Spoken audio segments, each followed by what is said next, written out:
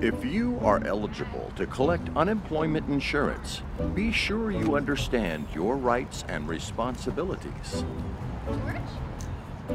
Well, hi there. Hey, Look who it is. Where's that husband of yours?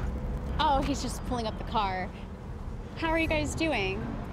You mean since George lost his job? We're hanging in there.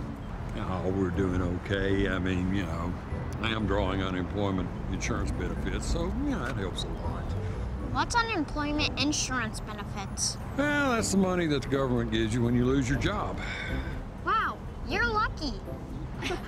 Well, I don't know about lucky. Uh, things have been a little tight, but we're about to go up on vacation with my brother for a few weeks.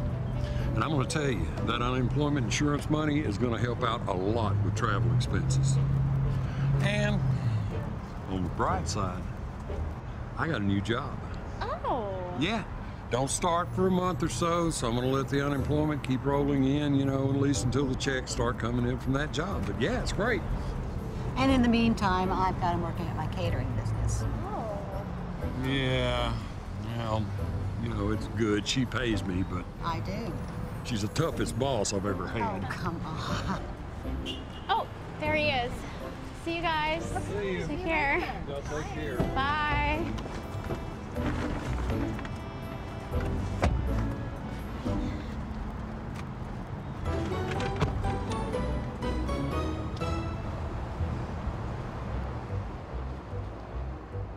Once you have started collecting unemployment insurance, you are subject to penalties or criminal prosecution if you do not follow the rules and regulations. How are they doing? George and Annie? I guess they're doing okay. I'm a little worried for them. Mr. Bailey is getting free money from the government because he lost his job. Oh, I don't think so. Yeah, it's called unemployment insurance benefits. Son, uh, unemployment insurance is paid for by employers, not employees, and, and not the government. And you're only eligible if you lose your job through no fault of your own. And you're able and you're available and, and actively seeking work. Mr. Bailey doesn't have to look for a new job. He already has one starting in a month. He just needs unemployment insurance money until his new job starts sending him his paychecks. You see why I'm worried. Oh my. Mr. Bailey could be in a lot of trouble. He can't do that. No, Dad, it's okay. It's not like he's lazy or something. He is working for Miss Annie with her catering stuff. Yes, and they're going out of town for several weeks to visit his brother. What's the matter with that? Well, it's illegal. He could be prosecuted. And at the very least, he would have to pay every cent of the unemployment insurance benefits back. Not to mention penalties and interest. You know, I'm afraid they have no idea how much trouble they could be in.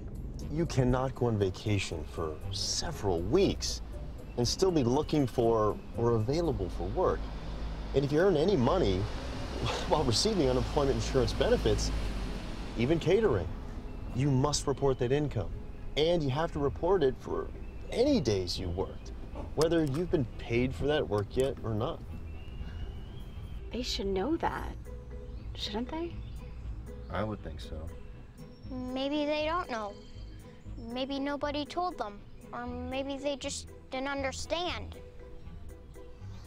Well, it won't make any difference. Ignorance of the law is no excuse.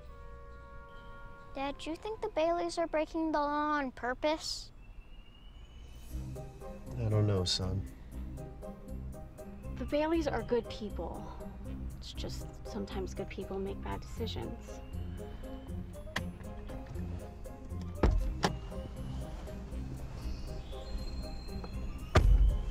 Unemployment insurance is paid for by employers. To be eligible, you must be able, available, and actively seeking employment. Any compensation you receive while receiving unemployment insurance must be reported. Do the right thing. Don't commit fraud.